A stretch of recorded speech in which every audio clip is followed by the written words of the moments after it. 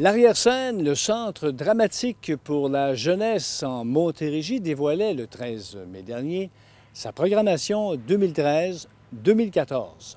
En tout, 11 spectacles créés par des compagnies de théâtre du Québec et de l'étranger seront présentés au Centre culturel de Belleuil. Destinés au public de jeunes de 2 à 17 ans de la Montérégie, il y en a pour tous les goûts.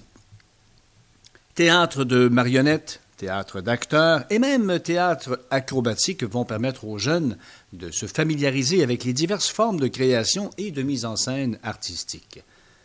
Seule compagnie québécoise à offrir une programmation régulière pour les enfants et les adolescents, l'arrière-scène propose également diverses activités comme des rencontres avant et après les spectacles, en classe ou au théâtre, de même que des ateliers de formation théâtrale.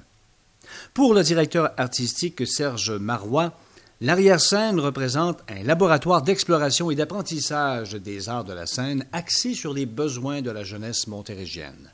Les billets se vendent 12,50 et tous les détails sont disponibles sur le site Internet de l'arrière-scène.